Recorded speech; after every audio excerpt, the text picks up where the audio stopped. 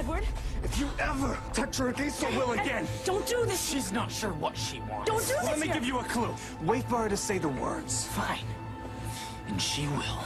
Jacob, just go, okay? Hey, hey, hey, hey. Easy, guys. Easy. Let's take it down a notch. All right? What's going on? I kissed Bella.